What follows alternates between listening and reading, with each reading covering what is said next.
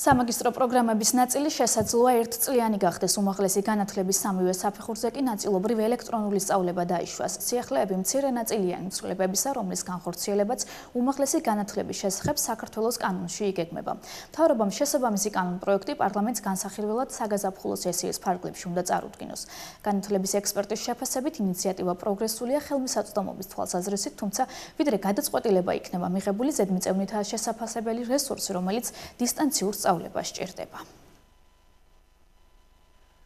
ჩვენი განათლების სისტემა იმ შკალაზე, რეიტინგების გამსაზღვროს შკალაზე იცით თქვენ, ბოლოდან მე მესამე ადგილზეა. ჩვენ ვნახეთ ეროვნულ გამოცდებზე ჩვენი შედეგები, ჩვენი ბავშვების, აქაც სავალალო შედეგები გვაქვს. შესაბამისად, თანხმედრაში უნდა იყოს ვთქვათ ეს ფორმა იმ შესაძლებლობასთან რა შესაძლებლობების მატარებლები ჩვენც ავართ და კიდევ ვიმეორებ თუ ხელმისაწვდომა ხელმისაწვდომობა არის მიზანი ამ კანონ პროექტისა ეს ძალიან კარგია მაგრამ მზად ყოფნა როგორ არის ის ლექტორმასწავლებლები მზად ამ დისტანციური სწავლებისთვის?